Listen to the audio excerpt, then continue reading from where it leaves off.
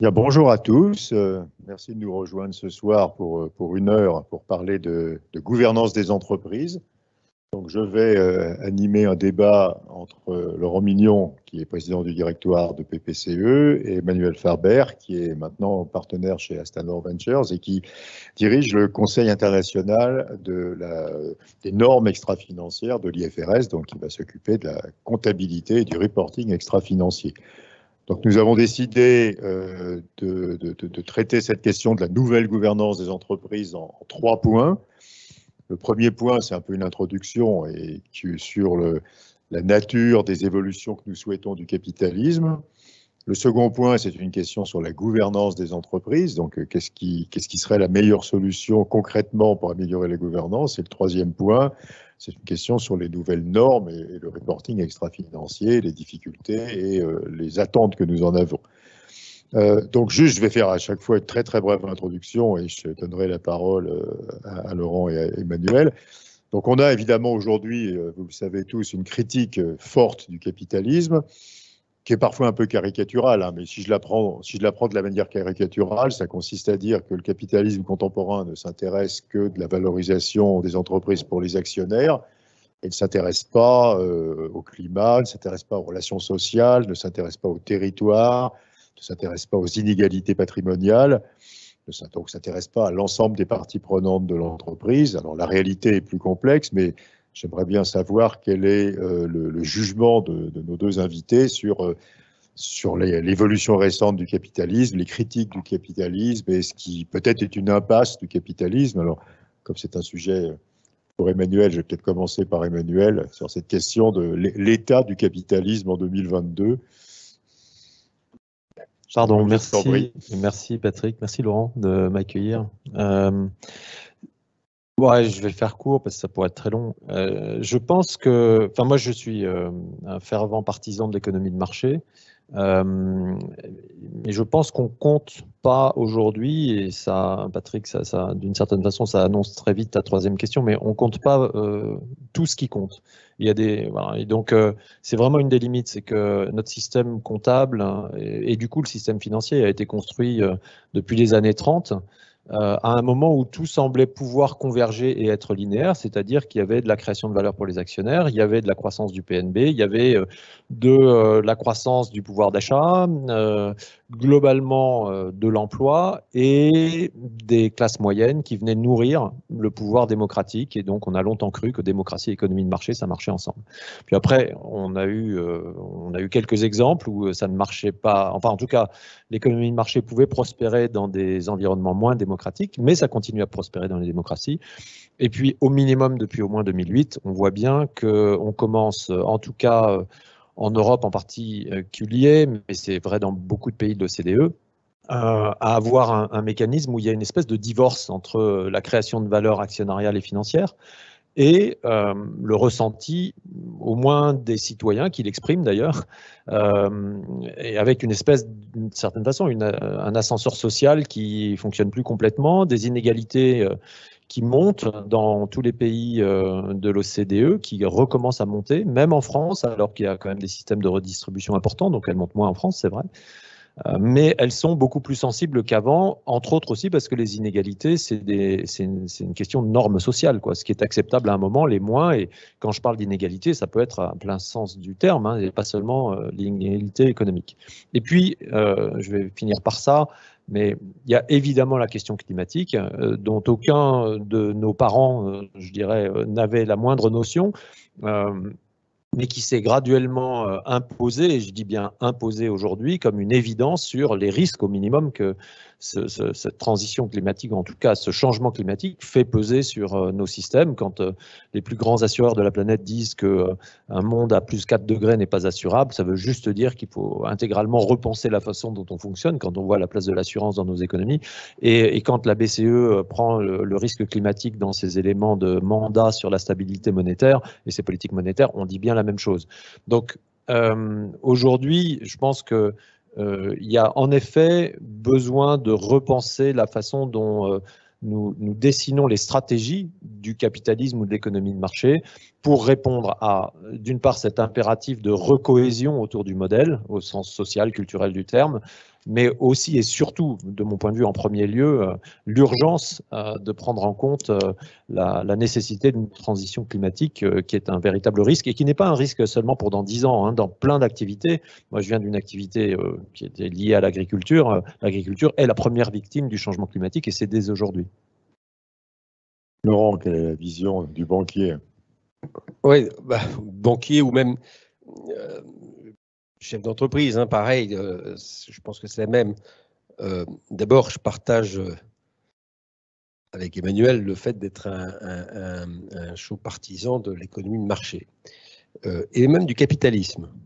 le, souvent, capitalisme, récemment en tout cas, a été assimilé à court-termisme. Et à mon avis, c'est un défaut de fonctionnement des marchés financiers et de perspective et de façon dont les analystes financiers pouvaient regarder les entreprises et de la façon dont les entreprises communiquaient pour pouvoir répondre à une attente perçue des marchés financiers que la réalité de ce qu'est le capitalisme. Capitalisme, c'est aussi par exemple des fonds de private equity qui investissent sur le long terme. Donc capitalisme ne rime pas avec court-termisme. Hein. Euh, euh, c'est une déviance probable, de la façon dont les marchés financiers euh, regardent les entreprises et qui peut avoir généré des comportements déviants d'entreprises qui ne jugeaient que le court-termisme. Alors, il y a un autre débat, qui est celui que pose Emmanuel, qui est celui de la prise en compte dans les objectifs de l'entreprise, autre chose que le profit, c'est-à-dire l'impact dans les autres, sur le, le, reste de son environnement. Une entreprise, elle ne vit pas toute seule, elle ne crée pas de la valeur toute seule. Son objectif, c'est bien d'en créer, c'est bien de s'assurer que cette création de valeur, elle est durable et donc qu'elle le fait au service de clients dans le long terme, qu'elle le fait au service de salariés dans le long terme, parce que si elle veut des salariés engagés, il faut avoir une politique qui leur permet de l'être. Donc ça, c'est la différence entre le long terme et le court-termisme. Mais il y a une chose à laquelle, je crois, aucune entreprise ne réfléchissait jusqu'à il y a récemment, c'était est-ce que l'impact que j'ai, moi, en tant qu'entreprise, sur le reste des, de l'environnement, qu'il soit social ou euh, climatique est important. Et social, on se disait non, c'est pas grave parce qu'il y a des gouvernements et c'est à eux de gérer les politiques sociales. Et climatique, on se disait, bah, de toute façon, franchement, le, sujet du réchauffement climatique, comme tu l'indiquais, était un sujet qui ne. Il y avait quelques farfelus qui en parlaient, mais à la limite, c'était limité aux farfelus. Et aujourd'hui, on réalise que bah, si on fait rien, on peut, et qu'on veut se, voire dans le long terme, si on fait rien et qu'on laisse qu'au gouvernement la gestion de, de tensions sociales que peut générer des comportements euh, euh, inadéquats dans des entreprises, bah, ce n'est pas simplement le gouvernement qui aura à le gérer, c'est qu'on peut avoir des révoltes, des façons, et donc l'environnement dans lequel on vit, le système démocratique dans lequel on vit peut être mis en péril. Et donc, c'est un sujet auquel il faut, s'attacher en tant qu'entreprise. L'inclusion, potentiellement, c'est un sujet sur lequel on doit euh, s'intéresser parce qu'on ne peut pas le laisser qu'au gouvernement. Et il y a un risque pour l'environnement dans lequel on évolue. Moi, si la démocratie, la société disparaît, ben, mon métier, mon entreprise, ben, elle va avoir un sujet. Donc, je dois faire attention à ça. Et deuxièmement, sur le climat, on voit bien que c'est un sujet même d'exercice Donc, ces deux ces préoccupations de l'impact dans l'environnement sont des préoccupations nouvelles, mais qui, à mon avis, ne sont pas contradictoires avec le capitalisme. Ce n'est pas le, sujet, c'est juste qu'on considérait que c'était immuable. La, la, société était immuable dans son organisation et le climat, la planète était immuable dans sa situation. Or ça, c'est une erreur, comme parfois on fait, vous savez, en, physique, tu vois, tu es, dans un espace qui bouge, mais tu penses que tout le reste est immuable. En réalité, c'est pas vrai. Je reste une seconde sur ce premier point. Euh, est-ce que les changements d'entreprise viendront spontanément des entreprises? Parce qu'il y a une prise de conscience des conseils d'administration, des, directions générales des entreprises qui va faire évoluer vers cette prise en compte des, autres objectifs. Les économistes appellent ça les externalités hein, du capitalisme. Ou est-ce que ça viendra euh, de signaux prix, un prix du CO2 qui va forcer finalement au bon comportement est-ce que ça viendra des réglementations, des normes euh, comptables, des réglementations euh, de calcul des, fonds propres, etc., des risques? Première question. Donc, est-ce que, est-ce que, est-ce que, est-ce que, est-ce que le capitalisme peut s'adapter en comprenant lui-même qu'il y a un problème, ou est-ce qu'il faut une force extérieure forte pour le faire s'adapter? Et puis deuxième question, est-ce que tout ça est compatible avec des exigences de rentabilité du capital pour l'actionnaire qui restent extrêmement fortes, hein, qui restent à deux chiffres dans la plupart des, pays? Est-ce qu'on peut, est peut avoir des objectifs longs? Euh, Laurent disait qu'il n'y a pas de court-termisme structurel du capitalisme, mais est-ce qu'on n'a pas un court-termisme structurel quand on veut 12% de rendement des fonds propres et donc on actualise à des taux très élevés euh, les projets? Peut-être Laurent pour commencer. Là, je vais prendre la, casquette de, président du directoire du groupe BPCE. Euh, nous, on est un groupe coopératif. Donc, le, 12% de rentabilité des fonds propres, euh, euh, ce n'est pas l'objectif qu'on se fixe. nous, on se fixe comme objectif d'accompagner la croissance de l'économie française, d'accompagner nos clients, les aider à se développer. Et pour nous, c'est ça le, le gros enjeu. Alors, on veut le faire dans des conditions de rentabilité qui sont bonnes. Pourquoi? Parce que si on est rentable, on est pérenne. Quand tu n'es pas rentable, la moindre crise, tu résistes pas. Donc moi, mon critère, c'est quelle est ma capacité à, résister à une crise, à faire face, à m'adapter et à investir. Si je n'ai pas la rentabilité qu'il faut pour pouvoir investir dans l'avenir, si je n'ai pas la rentabilité qu'il faut pour pouvoir résister à une crise, je suis fragile. Mais c'est ça, moi, mon prisme. Quand tu es coté, c'est vrai que ton prisme, il est probablement le même, mais il s'exprime dans quelle est ma capacité à aller chercher de l'argent aller chercher des investisseurs, soit en cas de difficulté, soit parce que j'ai des projets de croissance. Et là, le, débat entre le coût du capital attendu par le marché et euh, la capacité de l'entreprise à, à, être rentable existe. Mais bon, cela dit, regardons le nombre d'entreprises qui valent très cher et dont le ROE est négatif aujourd'hui. Hein. Donc on voit bien que ce qui est important, c'est la capacité que peut avoir l'entreprise à exprimer ce qu'elle peut être sur le long terme. Et je pense que les, les, le caractère excessif de la rentabilité des capitaux à court terme qui est exigé, c'est parce qu'on vend assez mal la perspective sur le long terme. Emmanuel, est-ce qu'il faut, euh, est-ce que le capitalisme se réformera de lui-même ou est-ce qu'il faut de grandes contraintes extérieures?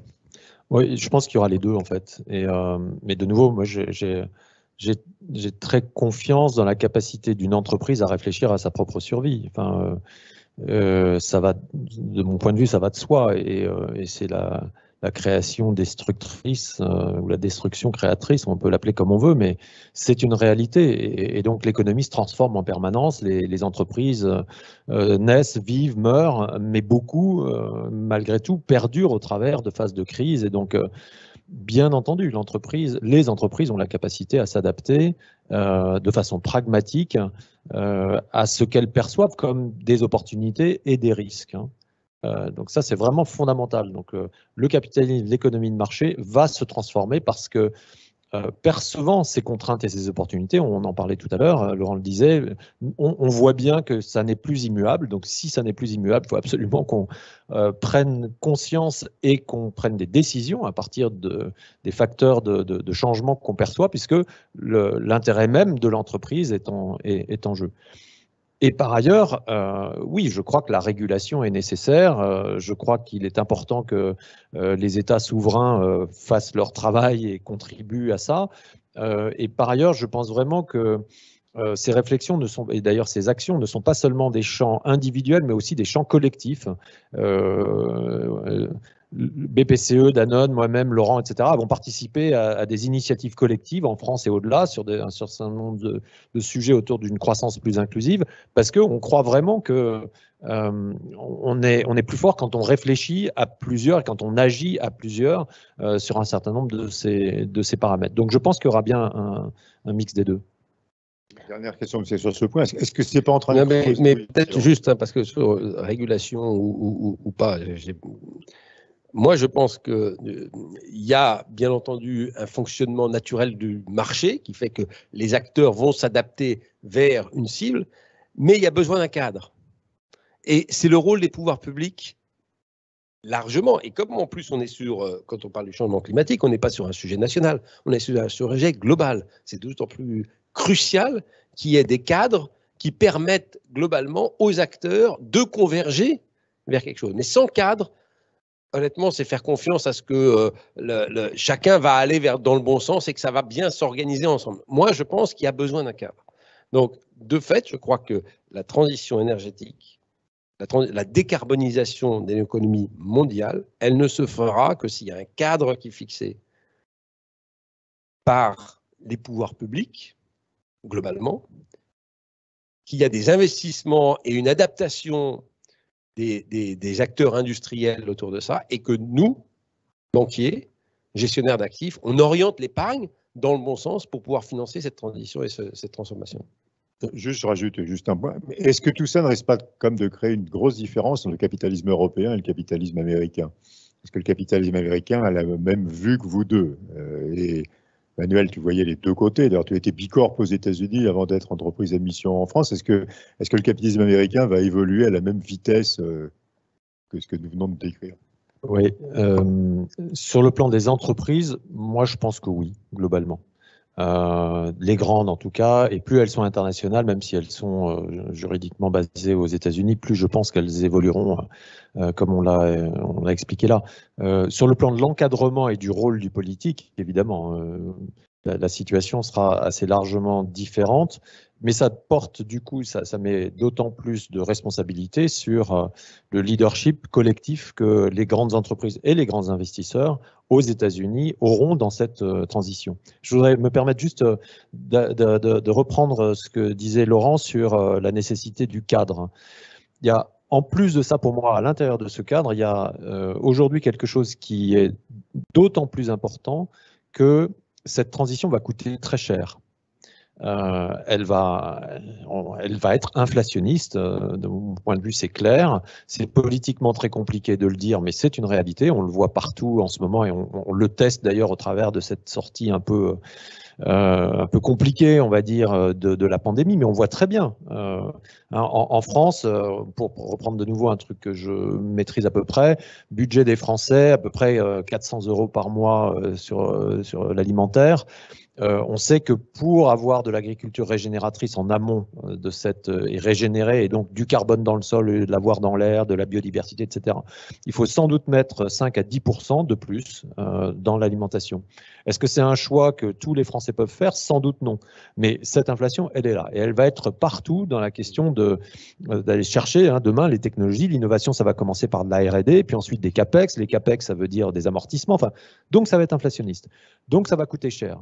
Donc on ne peut pas faire, c'est ce que disait Laurent tout à l'heure, laisser, euh, laisser le marché évaluer euh, lui-même la façon dont chacun des, acteurs va se positionner dans une forme parfois excessive de, compétition ou à l'inverse laisser des pans entiers euh, des solutions possibles de demain inexplorées parce qu'elles sont un peu trop chères au départ. Donc il est impératif que l'argent public euh, servent de catalyste à choisir les quelques pistes que nous devons poursuivre. On n'est plus dans un monde où on, a à la fois le temps et l'argent euh, pour se dire qu'on peut laisser entièrement le marché libre de choisir où il verra ses opportunités. Donc c'est vraiment un cadre qui doit non seulement réguler cette transition, euh, comme Laurent le disait, mais aussi à l'intérieur de ce qu'il disait, le fait de, de driver les choix d'investissement par des politiques incitatives qui doivent être suffisamment précise et choisie évidemment de façon souveraine.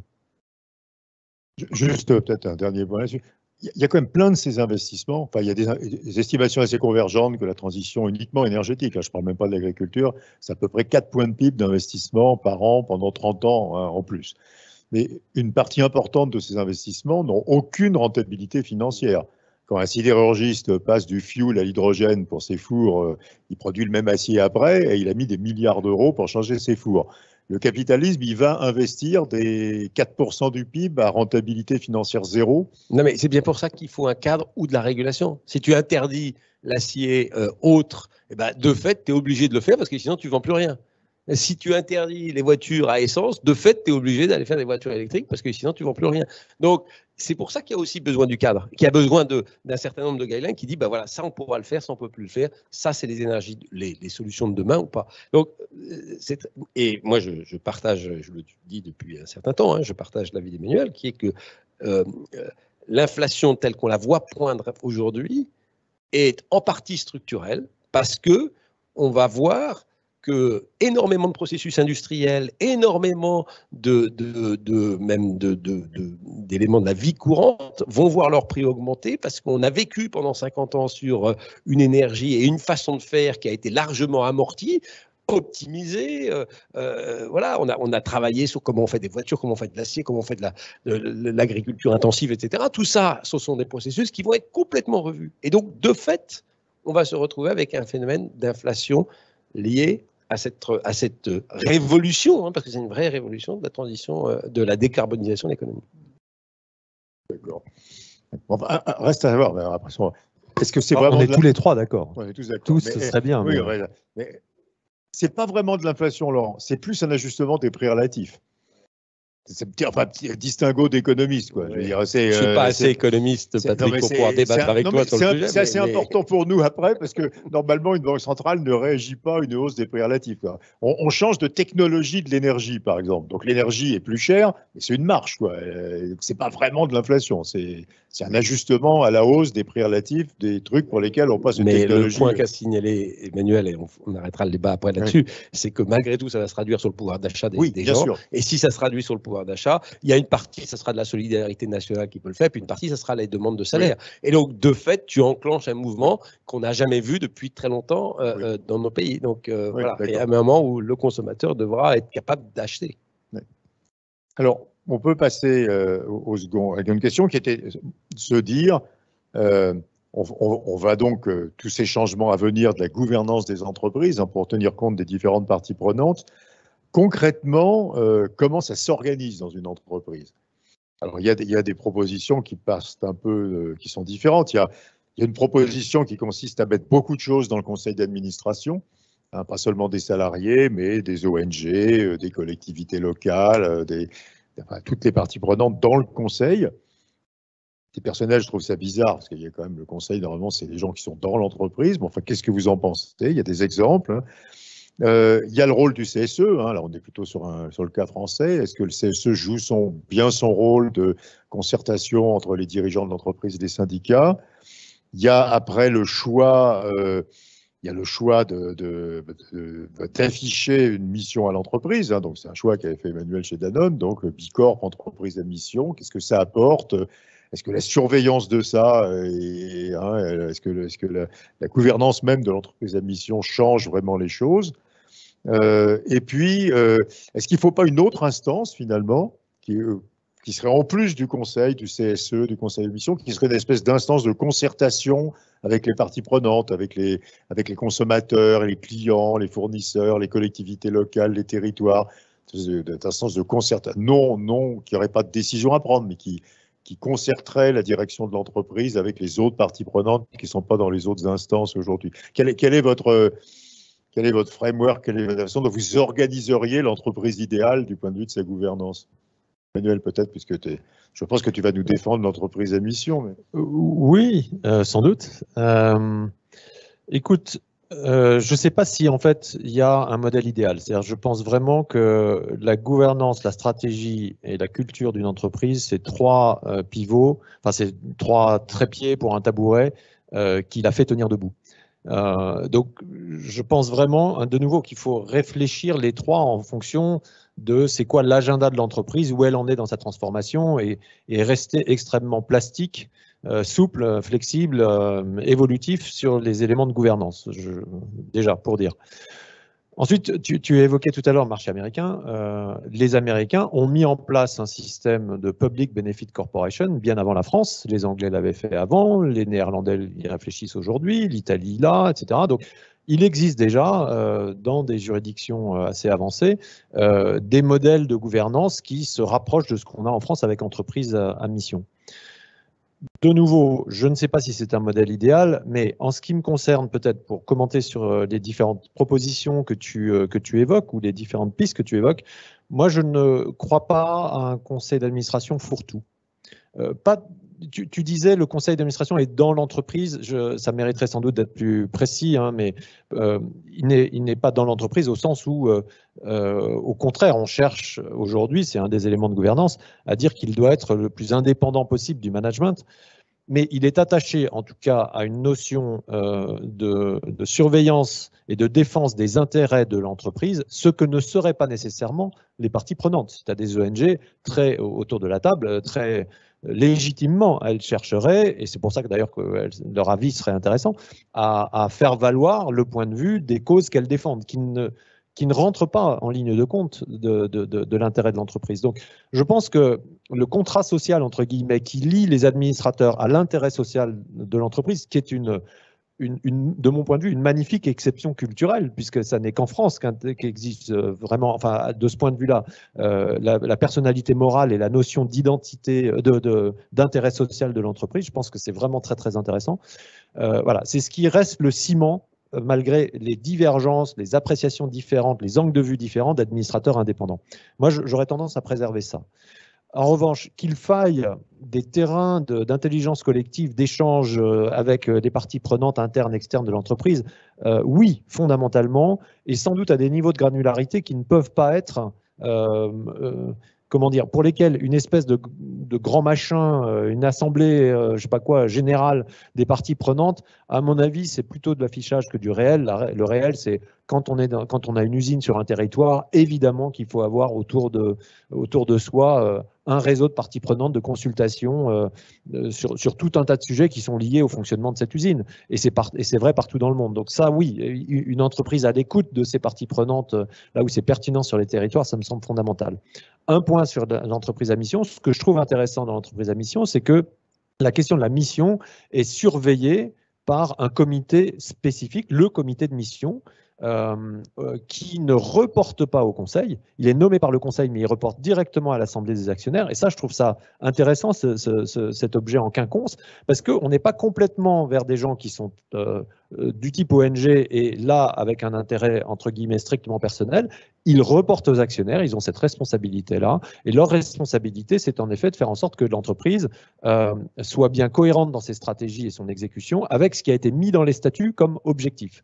Donc ça, je trouve que c'est un assez bon schéma. Si je devais, et je l'ai fait d'ailleurs, suggérer une amélioration dans la façon dont en France, en tout cas, on pourrait prendre ces sujets-là, c'est qu'aujourd'hui, euh, le comité de mission n'est pas sollicité de façon systématique euh, par le Conseil sur des sujets qui concernent la stratégie de l'entreprise, en particulier autour de les, aspects de sa mission. Je trouve qu'on pourrait se dire que le premier lieu de consultation des parties prenantes pour une entreprise à mission, ça devrait être son comité de mission, et donc il devrait faire partie euh, du, du, process de travail du Conseil.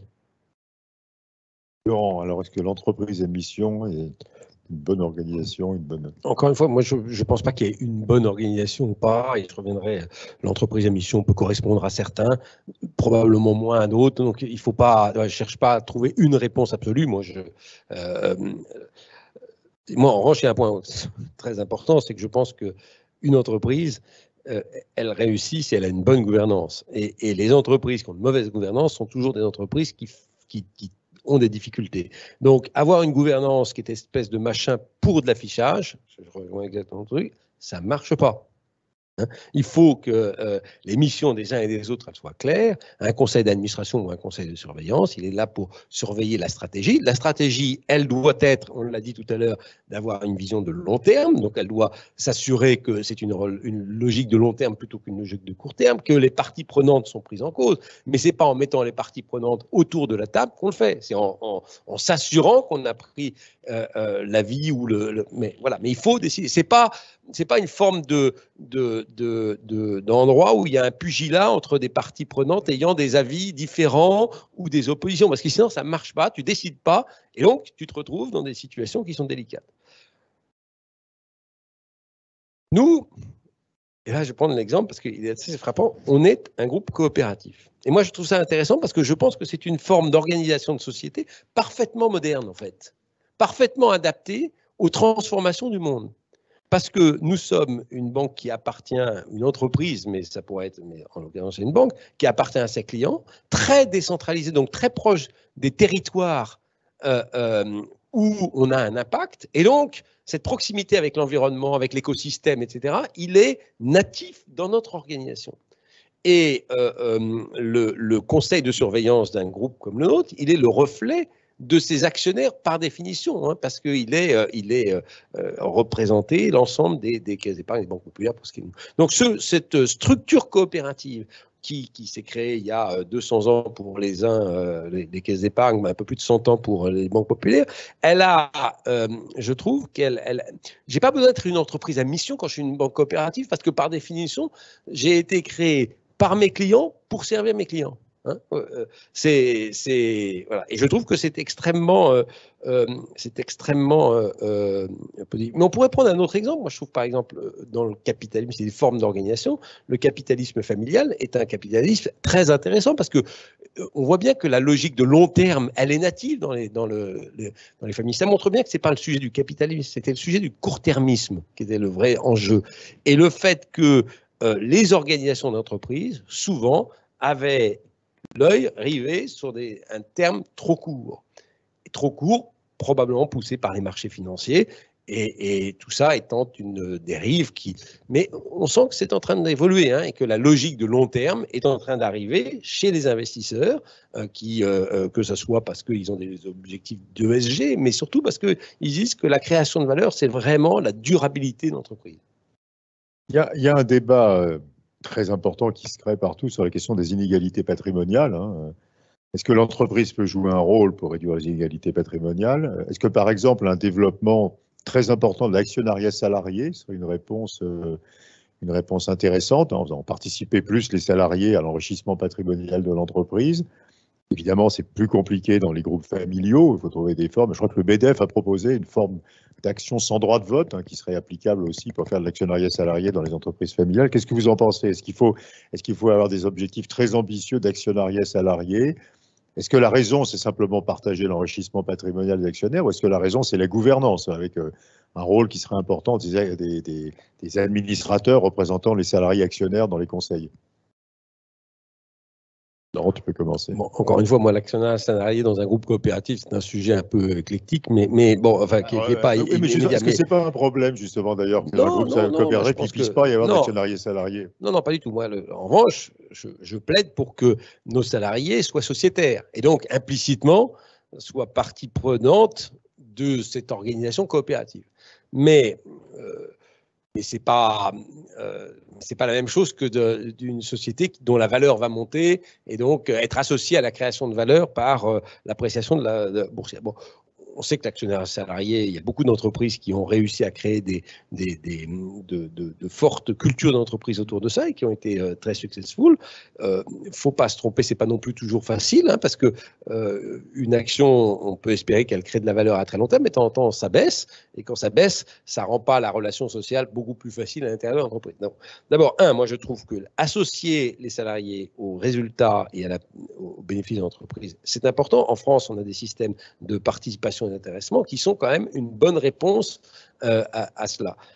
De l'actionnaire salarié. Moi, je trouve que sur le long terme, ça aligne les, les, les, principes. Je crois qu'il ne faut pas le transformer avec le sujet de la gouvernance, parce que la gouvernance, on la partie. Euh, cela dit, quand tu es représentant des actionnaires salariés, c'est pas inintéressant parce que tu vois la double casquette qui se crée, donc la, la recherche de l'intérêt long terme de l'entreprise qui est perçue. Donc, euh, moi, je trouve ça une, une bonne façon d'organiser les choses. Mais encore une fois, elle peut pas être, c'est pas la seule réponse.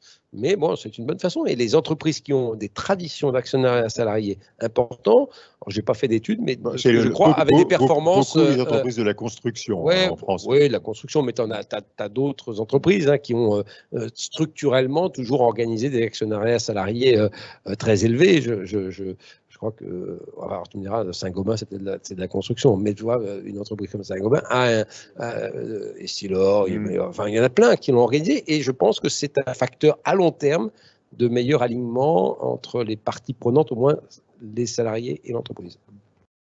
Emmanuel, comment, euh, comment on fait participer les salariés à l'enrichissement patrimonial de l'entreprise euh, Je reviens sur ce que je disais, je pense, c'est comme Laurent le dit, il n'y a, a, pas une seule méthode euh, et c'est vraiment à chaque fois une question à se poser pour hein, le conseil de, l'entreprise, à vrai dire, de qu'est-ce qui est pertinent en termes de gouvernance, de stratégie, de culture. néanmoins, et à l'intérieur de ça, pour moi, ça a été vraiment clair que pour construire une culture euh, et un sentiment d'appartenance mondiale euh, dans une entreprise euh, dans laquelle il y avait plus d'Indonésiens, plus de Russes, plus de Chinois que de Français, par exemple, il était important que, au-delà des liens sociaux, contractuels, managériaux, etc., il y ait aussi un lien avec le, le, fait qu'il y ait il y a une action, une entreprise et une seule. et ce qui au fond est représenté par son capital. Et donc on a créé un programme qui s'appelle Une personne, une voix, une action, dans lequel chacun des 100 000 salariés de Danone sont devenus actionnaires de l'entreprise et avec, euh, je sais qu'il y a un débat, en tout cas on m'a posé la question euh, sur Arte il y a quelques jours, euh, autour du partage, enfin l'idée d'un dividende partagé ici en France. Nous, on l'a mis en place, c'est-à-dire que sur cette action particulière qui a été au départ donnée à chaque salarié, ensuite encouragée, abondée, etc., il y a un multiplicateur du dividende qui est décidé chaque année par le Conseil, qui jusqu'à présent est de 40 fois le dividende normal. Euh, ce qui donne du coup euh, un, coup de projecteur sur la notion de dividende plus que sur la notion d'appréciation du cours de bourse, parce qu'on espère que le dividende, euh, d'ailleurs, n'a jamais baissé. Donc, voilà, ça puisse, à, l'exception de l'année du Covid, ça puisse continuer comme ça. Dans ce secteur d'activité, on serait dans un autre secteur, la construction par exemple, ce serait sans doute différent. Mais avec cette notion de euh, de vraies discussions sur euh, une visibilité, une forme de partage de la valeur qui est partagée avec l'actionnaire, à défaut de créer au travers du cours de bourse, qui est encore un autre sujet. Mais voilà, c'est le narratif qui était euh, le bon et qui continue à l'être chez, Danone. je pense qu'il peut y en avoir beaucoup d'autres. Et je dirais, il a été en particulier, à mon avis, là où il y avait vraiment un élément de cohérence, c'est qu'on l'a adossé à ce programme qui s'appelle Une Voix, où chaque salarié est invité à donner son avis. Et 90 000 des 100 000 salariés à peu près participent chaque année à ce processus-là sur les grands objectifs de l'entreprise. On a des objectifs 2030. Euh, Est-ce qu'on y va assez vite localement, dans mon usine, dans mon centre de recherche, dans mon pays, euh, etc. Et ça, ça crée tout un dialogue autour de la création de valeur à, à moyen long terme et quand je dis valeur, je pourrais mettre un S, puisque c'est aussi la question de la santé, euh, de la protection de l'agriculture régénératrice, etc., etc. Donc c'était un ensemble un peu holistique qu'on a mis en place. Si vous en êtes d'accord, on va passer euh, au troisième point, qui est quand même extrêmement important, donc la question euh, du reporting extra-financier. c'est des questions assez techniques, mais je crois qu'ils sont extrêmement importantes pour l'avenir, hein, pour, le monde de l'entreprise. Peut-être je pourrais l'introduire comme ça en disant on, a maintenant une taxonomie verte de la Commission européenne. Euh, donc comment est-ce que le reporting euh, environnemental va s'articuler avec la taxonomie verte? Euh, Deuxième question, la taxonomie verte pour l'instant c'est quelque chose de statique. Hein. c'est une entreprise, une activité, elle est verte ou pas verte. Comment est-ce qu'on rend tout ça dynamique hein, pour, euh, pour, passer à la notion de transition et pas rester dans la notion du vert statique? Est-ce qu'on peut faire une taxonomie dynamique? Est-ce qu'on peut faire de la comptabilité extra-financière dynamique hein, qui soit pas simplement photographique? Et puis troisième sujet, il y a SCG. Euh, on voit assez bien quand même, enfin on voit assez bien, c'est peut-être compliqué, mais enfin on a une vision quand même de ce que peut être une comptabilité environnementale.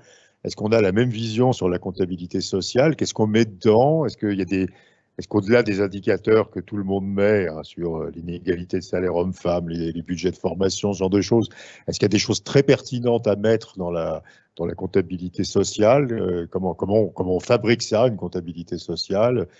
Et comment, et dernier point, euh, est-ce qu'on peut avoir une comptabilité mondiale extra-financière qui soit la même dans tous les pays, alors même que les, pratiques sociales, par exemple, sont extrêmement différentes dans, les différents pays? Peut-être, euh, je commence peut-être par Laurent, puis après Emmanuel nous fera le cours, euh, le, cours sur ce qu'il faut penser de tout ça. Quel est, quel est ta vue sur cette question euh, D'abord, la taxonomie la taxonomie verte européenne. Moi, je pense que c'est une bonne chose d'aller vers une taxonomie qui permet euh, d'avoir un certain nombre de critères qui sont les mêmes reconnus en Europe au moins. Ça posera des problèmes quand on regardera à l'échelle plus mondiale, mais avoir une taxonomie, c'est un, élément qui est positif. Et, il y a eu tout un travail extrêmement, euh, c'est science-based, enfin voilà, il y a eu beaucoup de travail pour arriver à cette taxonomie.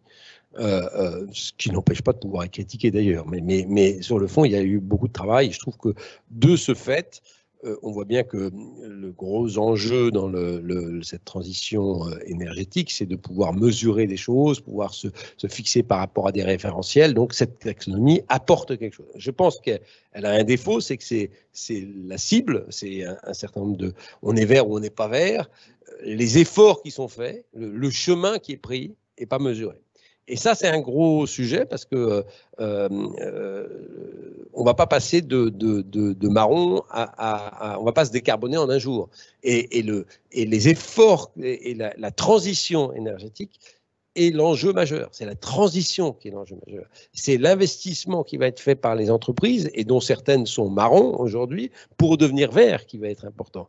Et ça, c'est pas capté par la, taxonomie. Donc c'est un sujet d'ailleurs de, de, débat et de réflexion. Est-ce qu'on arrive à faire une taxonomie de transition? Je reconnais que c'est intellectuellement satisfaisant, euh, pratiquement pas facile à faire, mais en tout cas, c'est un sujet sur lequel il faut réfléchir. Euh, Emmanuel en parlera peut-être euh, sur la disclosure, c'est-à-dire qu'à partir du moment où un certain nombre d'informations de, sont décrites et qu'elles sont relativement précises, peut-être qu'on commence à voir les évolutions de ces informations et que ça sera probablement une des façons de faire évoluer les choses. Ça, c'est Bon, après, sur le social et une taxonomie sociale, parce qu'on parle d'une taxonomie sociale, euh, on peut faire une taxonomie sociale en Europe parce qu'on a relativement des valeurs similaires. Euh, quand on regarde d'un sujet, autant la, disclosure sur le climat mondial, euh, la tonne de CO2 émise, et tout ça, ça sera les mêmes quelle que soit la culture, la façon de faire dans les pays. Autant sur le sujet social, je crois que c'est des choses totalement différentes, les, cultures sont différentes, les façons d'aborder les sujets sont différentes et qu'on ne peut pas avoir une vision unifiée de ça. Euh, euh, euh, voilà, donc moi, taxonomie sociale, ce qui est important surtout, c'est d'avoir un certain nombre de, de, de métriques ou d'indicateurs ou qui peuvent être euh, comparés, qui soient les mêmes, éviter euh, du faire du social washing comme on peut faire du greenwashing. Donc ça, je pense que c'est bien, ça permet d'avoir un, une façon de regarder les uns et les autres sur des critères qui sont les mêmes. Euh, lesquels ça fait l'objet de débats, ça fait l'objet de discussions, mais c'est hautement culturel en réalité. Et donc, on est certain qu'une taxonomie européenne, ça ne sera jamais la même que la taxonomie américaine de ce point de vue-là, ça ne sera pas la même que ce qu'on pourra faire en Chine ou, euh, euh, ou en Inde. Hein. Voilà, les, approches sont profondément différentes. sur les mêmes questions, et donc en particulier, est-ce qu'on, on voit bien que la transition, c'est quand même probablement là que le risque de greenwashing est le plus grand, parce que il faut s'améliorer sur certains critères tout en dégradant pas les autres, quoi, je dirais. Hein. Donc, euh, toujours l'exemple caricatural de la, mine de charbon qui réduit les inégalités hommes-femmes. Donc comment on fait, euh, comment, comment on fait de, vraiment de la taxonomie la mine de charbon qui, qui, fait un green bond parce qu'elle elle, a acheté deux quarts euh, euh, électrique. Hmm. Mais, mais, mais, comment on évite ça quoi, Alors que dans, dans le verre, euh, vert, c'est facile. C'est en, même temps, en même temps, on ne va pas passer tout vert. Donc il y a un gros enjeu. Des, les investissements massifs qui doivent être hmm. faits sont, sont des investissements qui te feront passer de l'un à l'autre. Et il va falloir mesurer ces trajectoires. Et fondamentalement, c'est comment on va pouvoir, Donc, les entreprises vont pouvoir exprimer les trajectoires et comment on va pouvoir mesurer la, la, la, façon de, de, les suivre. Voilà, juste deux points, Emmanuel, et ensuite je, te laisse t'exprimer, bien sûr. Euh, D'abord, cette question que soulève Laurent, est-ce qu'on peut avoir vraiment un disclosure social mondial, quoi, qui serait l'IFRS accepté par tous, ou est-ce que ça va être très compliqué? Et puis, est-ce qu'on sait faire le pont euh, indicateurs environnementaux, efforts d'investissement Est-ce qu'on sait euh, euh, vérifier la cohérence de l'effort d'investissement en face de l'indicateur d'environnement? Bon, euh, je suis content d'être ici pour prendre ces questions, mais je, n'en sais pas beaucoup plus que vous à ce stade. Hein. Euh, de nouveau, donc euh, à la COP 26, les, les, IFRS et les autorités mondiales de marché ont annoncé la création de ce Conseil international des normes extra-financières. Ont annoncé deux prototypes de normes sur, d'une part, ce qui est appelé les General Requirements, c'est-à-dire l'ensemble et le cadre sur lequel c'est posé, c'est posé à partir de la TCFD euh, globalement, euh, et un prototype de normes climat. Euh, et ensuite a annoncé la consolidation à l'intérieur de ce, de ce conseil de SASB aux États-Unis et de CDSB en Europe, qui sont deux des cinq organismes de normalisation extra-financière aujourd'hui. Euh, l'ambition, c'est qu'à la fin de cette année, c'est ce qui a été déclaré en tout cas à Glasgow, à la fin de l'année 2022, la norme climat sera disponible euh, et bien sûr les General Requirements qui sont, euh, qui sont le, la, base et le cadre. On est en train de recruter le conseil, on est en train de consolider les équipes, euh, donc on se met au travail. Hein. donc on est loin d'avoir terminé. Donc il faut prendre ce que je vais dire avec euh, ce recul-là. Bon, néanmoins, il y a un travail extraordinaire qui a été fait dans la préparation de tout ça. Et bien entendu, autour de tout ça, il y a un immense écosystème de, euh, contributeurs, évidemment en Europe, mais, dans d'autres continents aussi. sur le climat, euh, la taxonomie européenne, euh, pour moi, elle nous invite en fait à, nous rendre compte que euh, la définition d'une taxonomie, c'est une décision politique. On pourrait souhaiter que ce soit une décision scientifique, et d'ailleurs, elle, elle, a été fondée là-dessus.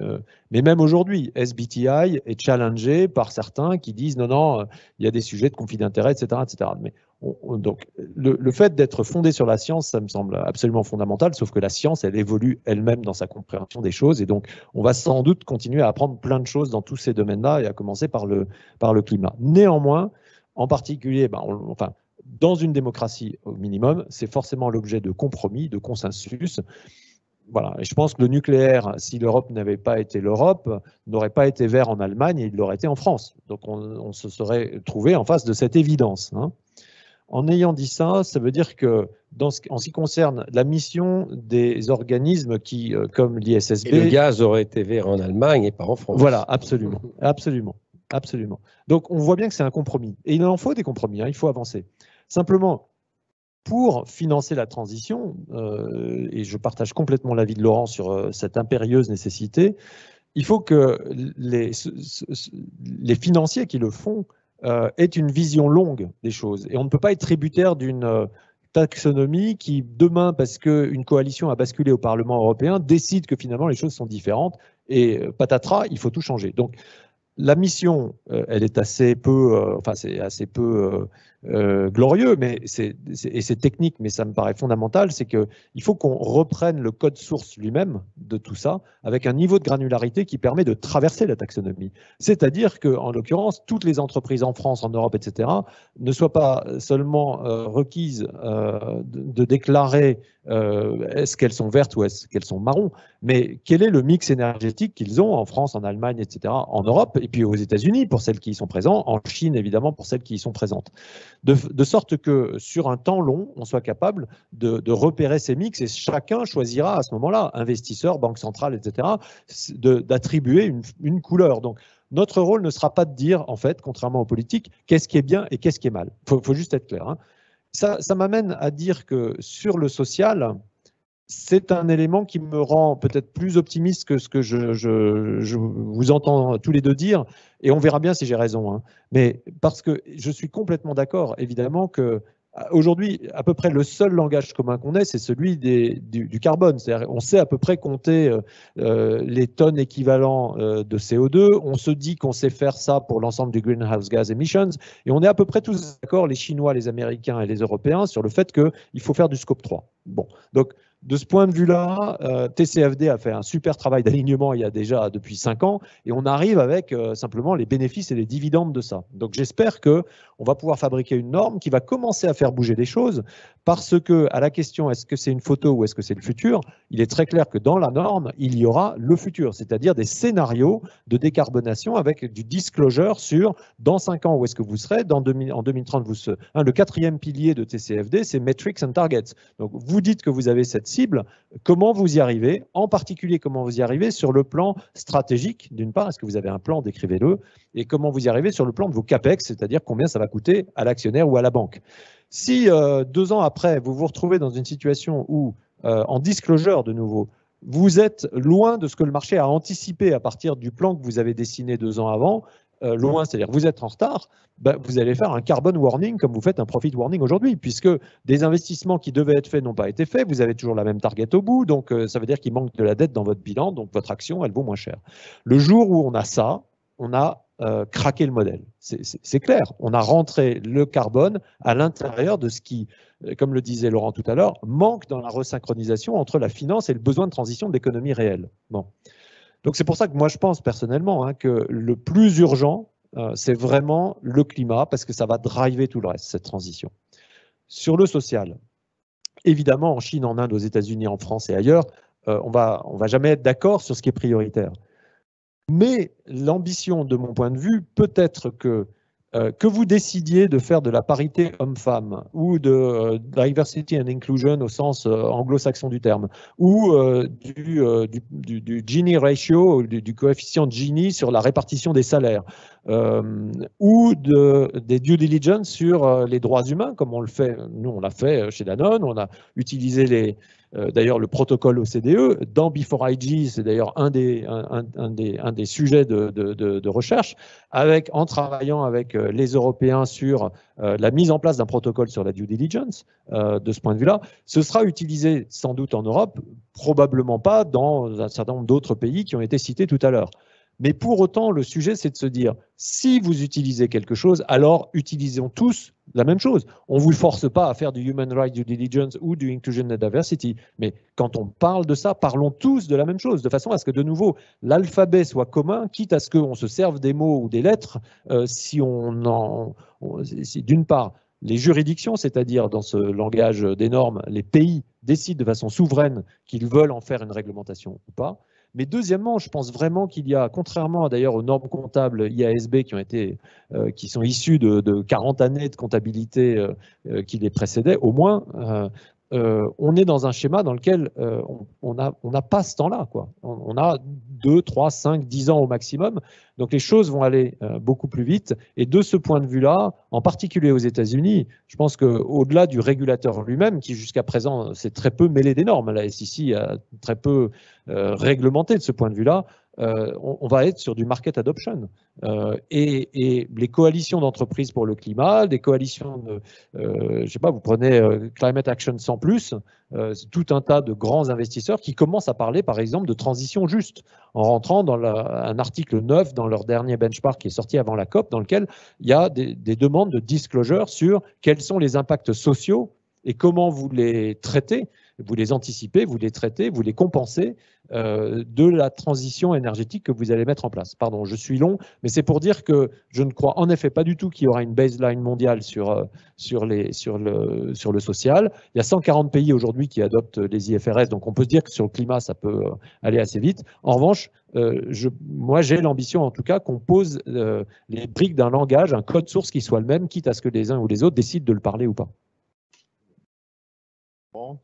Non, non, moi, je, euh, encore une fois, je pense que le, sujet de l'urgence, c'est le sujet du climat. Je ne dis pas que le social n'est pas important, hein, mais le traitement du social est très différencié par zone, par pays, par, euh, par culture. Euh, euh, l'enjeu, il est culturel, politique, il a plein. En revanche, l'enjeu du climat, il touche tout le monde indifféremment des juridictions, etc. Donc, le, le, la, première des urgences, c'est quand même celui sur le climat. Et comme tu l'as dit, là, on n'a pas 50 ans, on a 5, 10 ans pour pouvoir avoir mis en place, enfin, et avoir avancé significativement euh, euh, sur le chemin. Donc ça, c'est pour moi la, priorité numéro un, euh, qui, d'un point de vue global, hein, je veux dire, ça, ne dit pas, je dis pas que le social n'est pas important, hein, il est très important et, c'est quelque chose auquel on est très attaché, mais, mais le, le, la transition sociale, entre guillemets, c'est pas le même, on n'a pas du tout le même sujet, d'ailleurs, il n'y a pas le même consensus du tout mm. qu'on a sur l'aspect climat. Donc, voilà.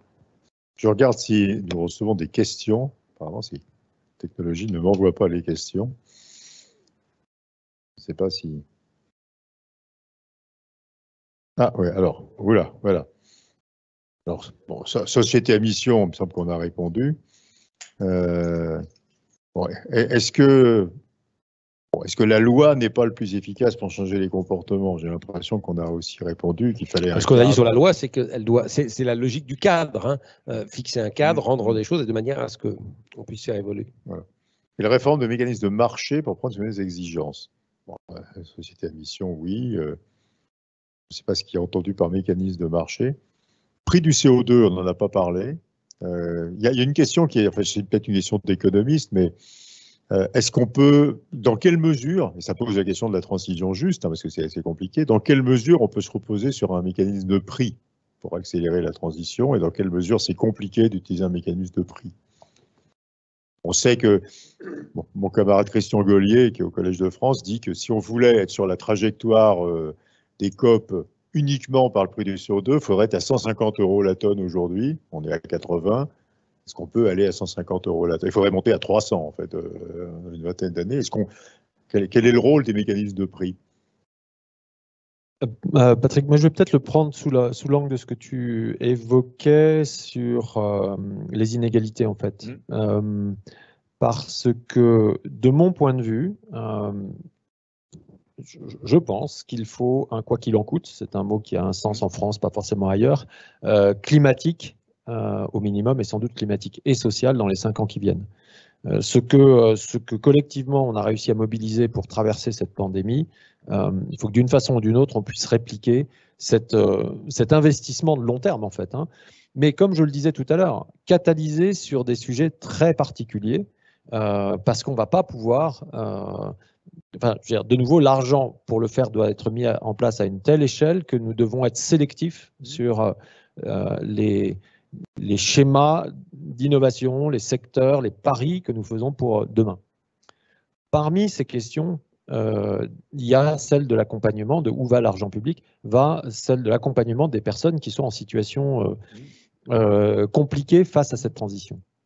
Et il faut prendre, je vais mettre euh, sur la table un truc qui n'est pas très populaire sans doute, mais on, sait tous qu'il euh, y a une corrélation directe, de même qu'elle est directe entre le PNB et les émissions de carbone, elle est directe entre les revenus, les patrimoines et les émissions de carbone. Il y a des études plus ou moins controversées, et c'est normal qu'elles le soient d'ailleurs, qui sont sorties, mais elles, commencent à sortir de façon assez... Euh, enfin suffisamment répétées et, et, partir sur des angles qui sont suffisamment, enfin avec des ordres de grandeur qui sont suffisamment les mêmes pour qu'on puisse commencer à s'interroger là-dessus la dernière en date, sur le, euh, qui, est du, World Inequalities Institute, euh, en, novembre ou décembre, qui dit 80 euh, millions de personnes qui sont les 1% des personnes qui ont les patrimoines et les revenus les plus élevés du monde, émettent à elles seules, ces 80 millions de personnes, 50% de plus d'émissions absolues, absolues que les 4 milliards de personnes qui sont les moins bien loties sur le plan économique dans le monde.